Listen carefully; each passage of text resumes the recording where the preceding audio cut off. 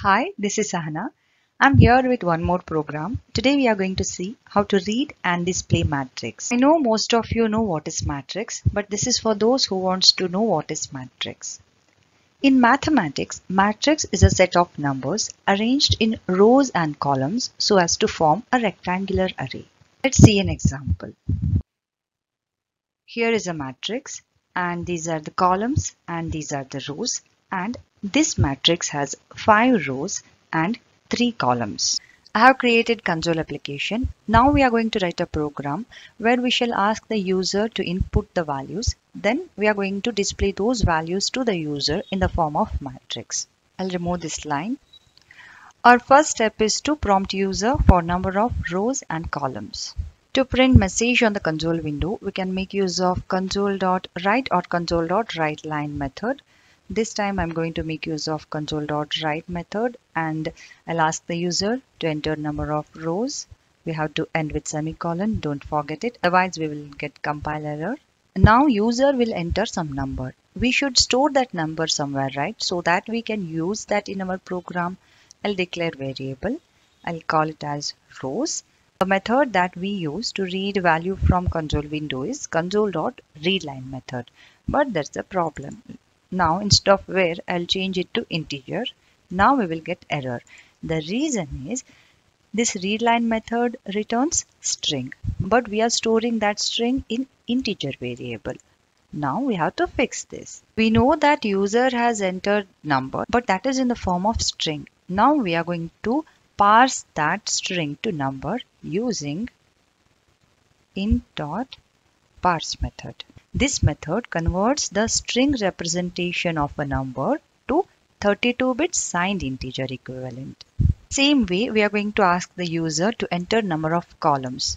Let's copy these lines. Here, let's change this to columns and again variable is going to be cols. Okay. Now we know the number of rows and columns for the matrix. Our second step is to to actually create the matrix. We can make use of two-dimensional array to create matrix.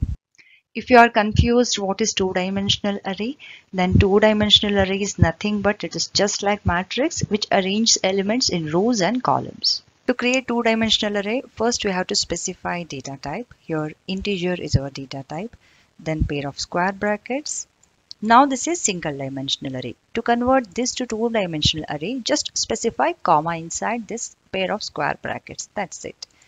Give it some name. I will call it as matrix. Use new keyword.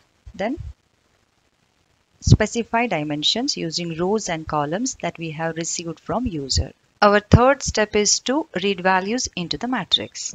Let's go back to our previous example. To access each element in two-dimensional array, we have to specify its row and column index. Here you can see row and column index, they start from 0.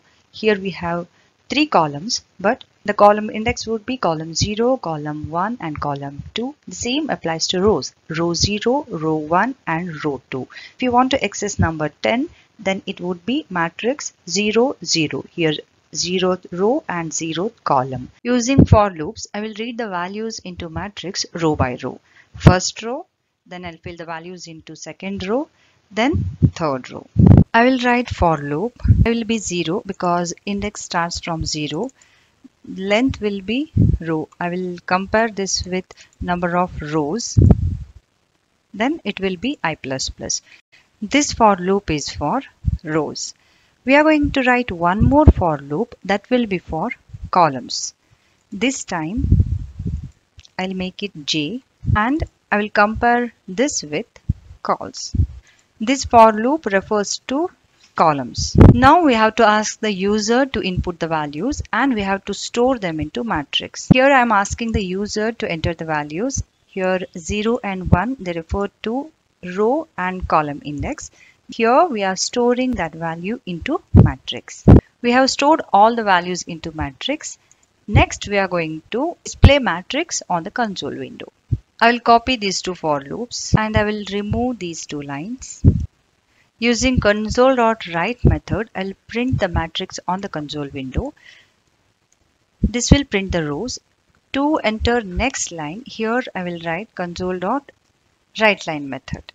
Let's run this application and see the output. We have a message, enter the number of rows. I will enter 2. Enter the number of columns. Again, I'll enter 2. Now, enter the value for 0, 0. That means first row, first column. I will enter 10, 20, 30, 40. See, here we have a matrix. The matrix you entered is ready. You can test this program with more number of rows and columns. Now we know how to read the values into matrix and display that matrix on the console window. I hope the session was useful. If you have subscribed to my channel, thanks for your support. If you are not and if you find the content useful, do consider subscribing to my channel. Thanks for your time. See you soon in the next video. Thank you.